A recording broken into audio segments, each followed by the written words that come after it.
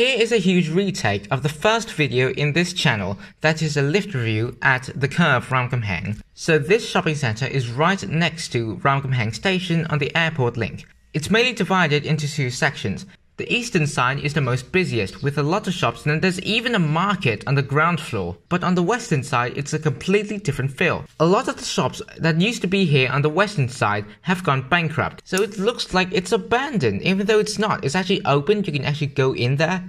Anyway, now to the only working lift in the entire shopping center. This is on the eastern end. Okay, this is the first lift that I did on my channel that is now public.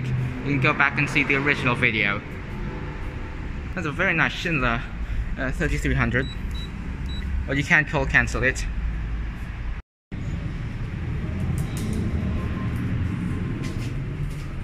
Very nice.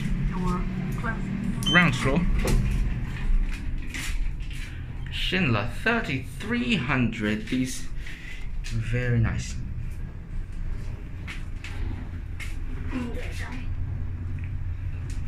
Ground floor. Ground floor. Door open. It opens up right into Starbucks. So- and weirdly, in this lift, on the ground and the mezzanine floors, it's Starbucks. And the lift opens directly into Starbucks, which means you need to go via Starbucks to get into this lift. There's actually two more sets of lifts here. That is a set of Schindler 3300s. Two sets of lifts. This doesn't work. There's also a set of Schindler 5400 AP lifts.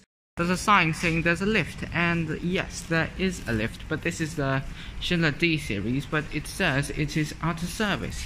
So you can't use them. It says out of service.